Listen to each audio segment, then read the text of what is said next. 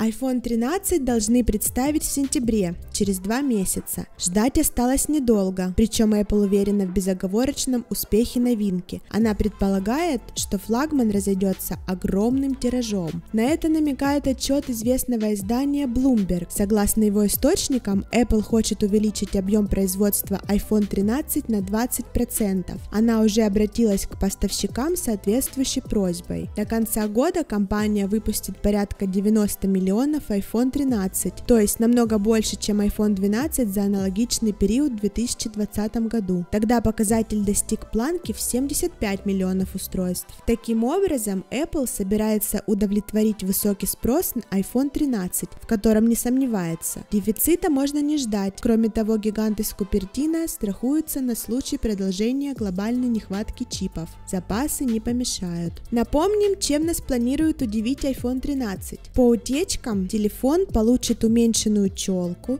мощный процессор A15 Bionic и улучшенные камеры. Также ходят слухи о дисплее с переменной частотой обновления до 120 Гц. Плавная картинка гарантируется, хотя не факт, что на всех моделях. Остальное узнаем осенью, после официального анонса.